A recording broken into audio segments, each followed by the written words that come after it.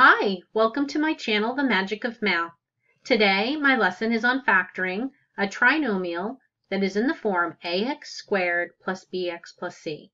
So today, this lesson is going to focus when a, the leading coefficient, has a value of something other than 1.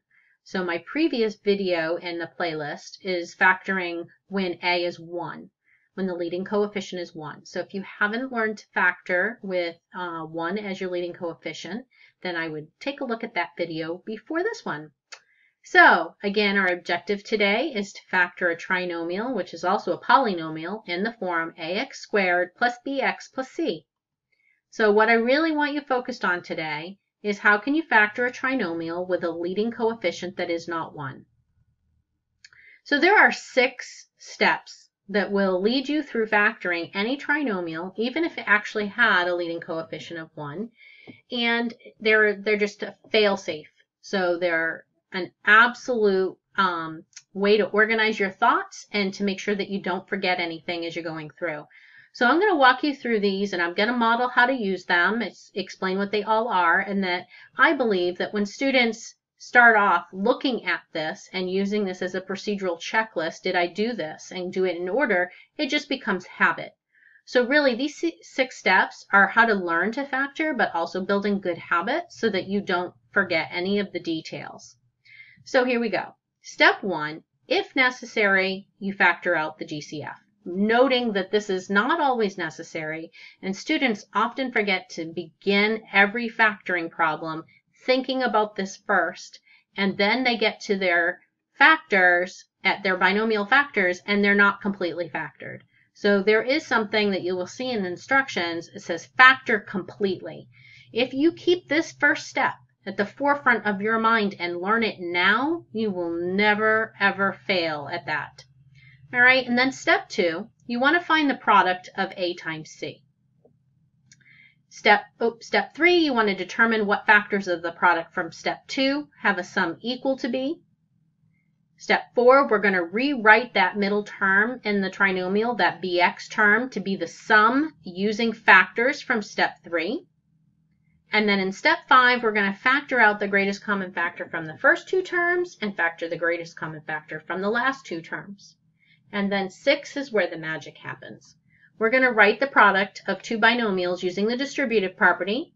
One binomial is the sum of each of the greatest common factors, and the second is the common binomial term, which works out just like magic every single time. All right, so I'm sure you're thinking, whoa, that's a lot. So here we go. Here's an example for you. I'm going to factor 2x squared plus 11x plus 5 using these six steps. So step one, it's not necessary. 2x squared, 11x, and 5 do not have any factor in common. Step 2, I'm going to find the product of a and c. So a is 2, c is positive 5. You got to keep track of the signs of these terms too. So 2 times 5 is 10. Now in step 3, I need to determine what factors of 10, when added, have a sum that is equal to b. So what factors of 10 have a sum of 11? So factors 1 and 10, when multiplied, 1 times 10 is 10, 1 plus 10 is 11, so it works. So again, um, we're going to now go to step 4, and we're going to rewrite that bx term. That bx term right here is positive 11x. So you can see the magic here is 1 plus 10. I'm going to change that to 1x plus 10x. Now this expression is equivalent to the trinomial that you were given to factor. If I combine these like terms, it's equivalent. So I have not changed the value of the expression. Step five, now we want to consider the first two terms and we want to factor out the greatest common factor. So when I do that, the greatest common factor between 2x squared and 1x is x. Then make it so that it equals 2x squared plus 1x, we know that x times 2x is 2x squared, x times 1 is 1x. So you should have learned how to factor, and now we have 10x plus 5. The greatest common factor between the two terms is 5, and then 5 times 2x is 10x, and then 5 times 1 is 5. So here's the magic. Notice that these binomials are the same. So we take our greatest common factor from each, and that's one binomial, and then our binomial, our second binomial term, and this is our factor trinomial.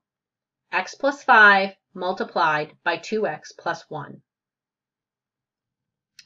So now it's your turn.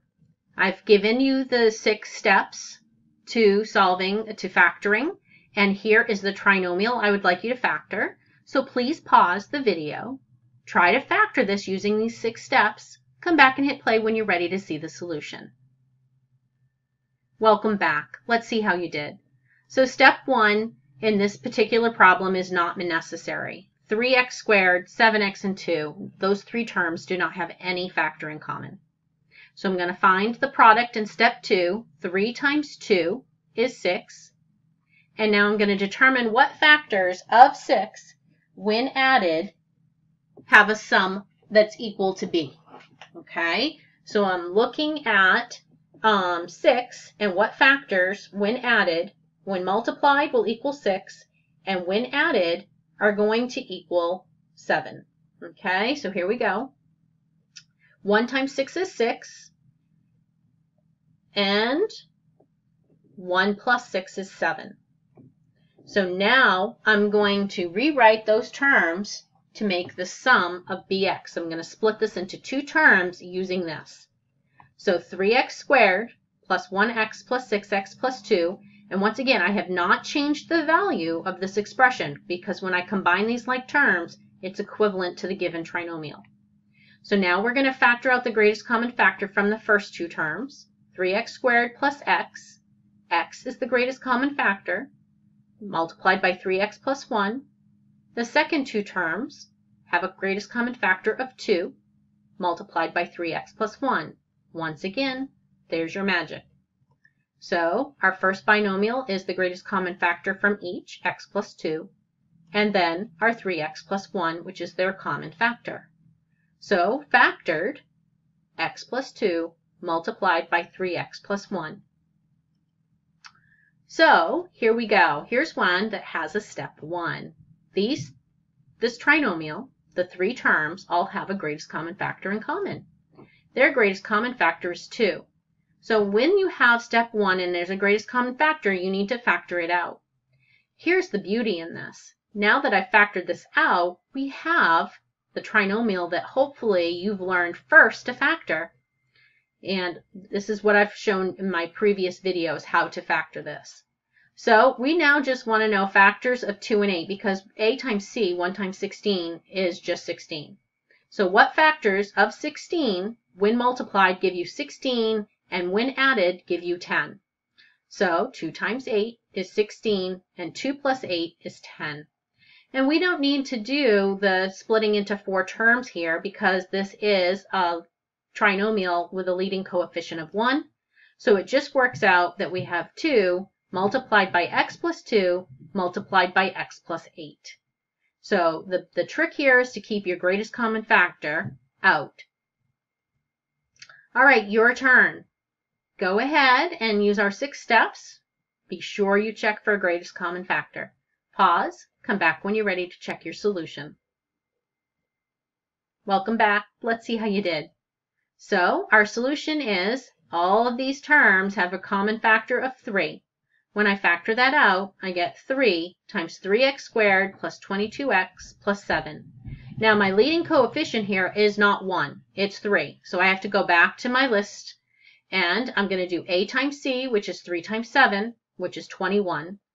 And what factors of 21, when multiplied, give me 21, and when added, give me 22, and that's easy. That's 1 and 21. 1 plus 21 is 22.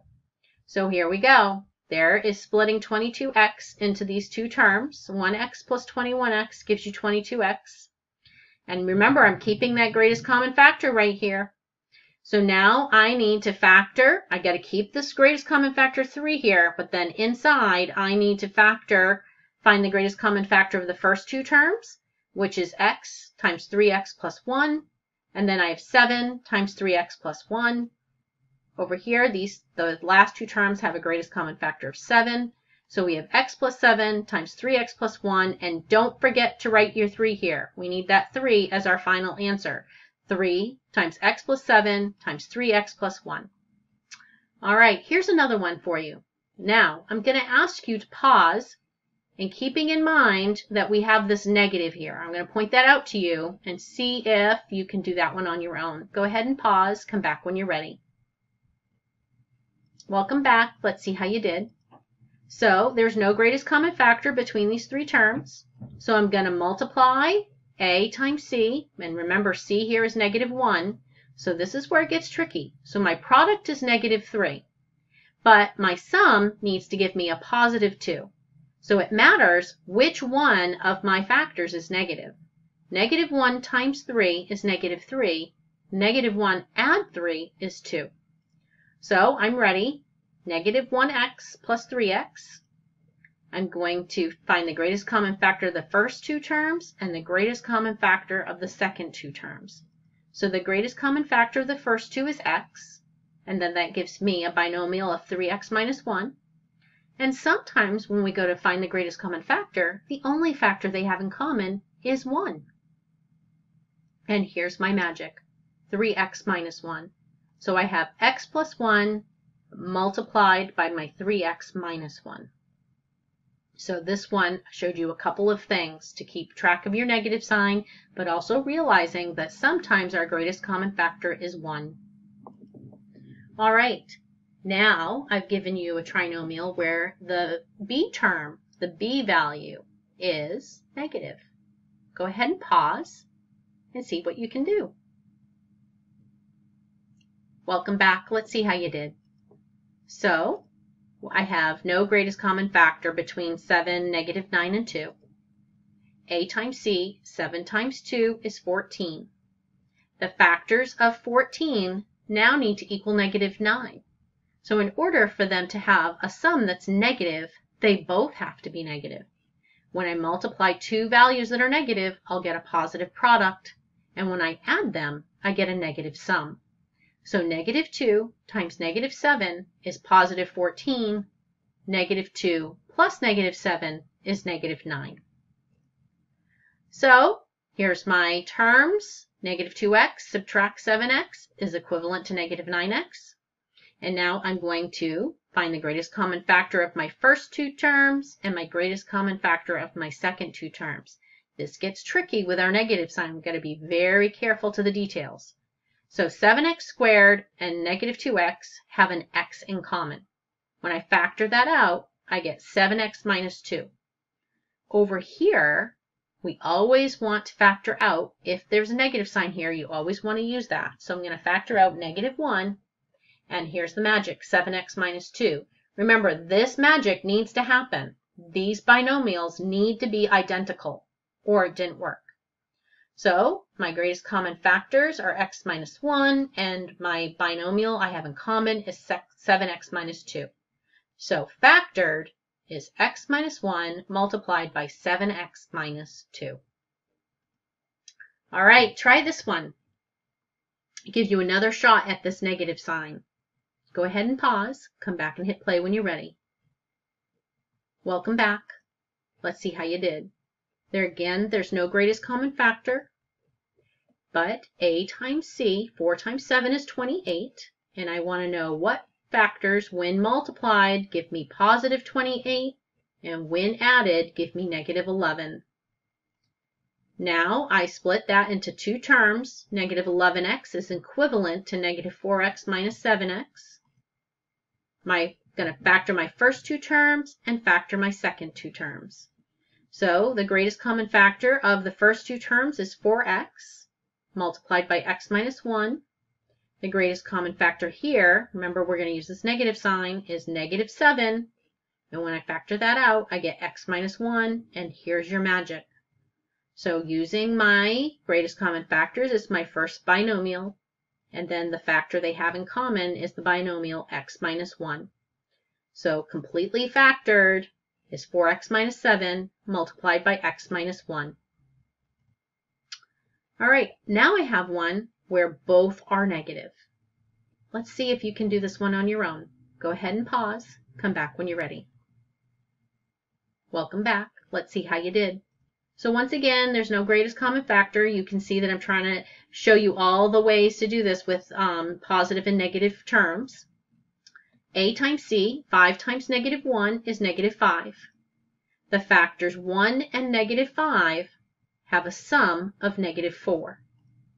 Splitting 1x, subtract 5x, is equivalent to negative 4x. Okay, now the greatest common factor of the first two terms, they both have an x in common, times 5x plus 1. Here, these terms both have a negative 1 in common, times 5x plus 1. Remember, this binomial term needs to be the same. So the first binomial is my greatest common factors, x minus 1, and my second is their greatest common factor, their common factor, not their greatest, sorry, their common factor 5x plus 1. So completely factored is x minus 1 multiplied by 5x plus 1. And that's how we factor a trinomial in ax squared plus bx plus c form. I hope you enjoyed the lesson today and you'll subscribe to my channel and give me a thumbs up. And I hope you have a great day.